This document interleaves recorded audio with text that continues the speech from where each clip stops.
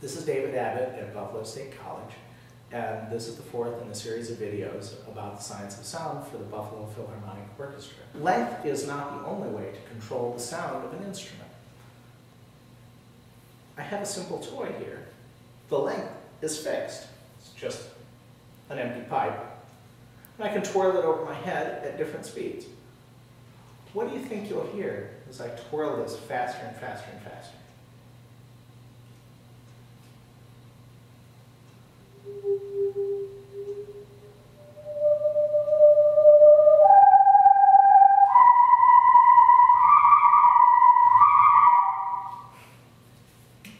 You can hear that as I twirled it faster and faster and faster, I got higher and higher notes. But I didn't get any note I wanted.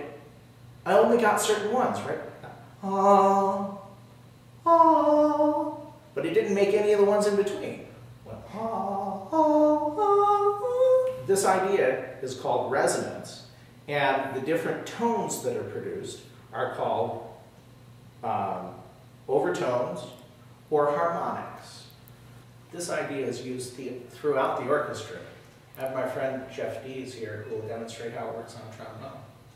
When I make a sound on the trombone, air leaves my mouth in an aperture, a little hole, and as I control the opening and closing of this aperture, I can change the notes, whether they be lower or higher. When I keep my slide in one position, I can play a series called the harmonic series, and they only exist in each position.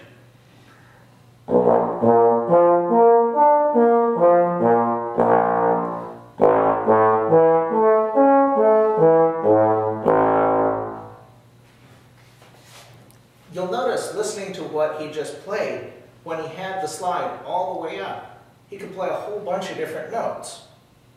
But it sounds like you only chose certain ones. Did you do that on purpose? Or? Nope, those are the only ones that instrument can produce in that position.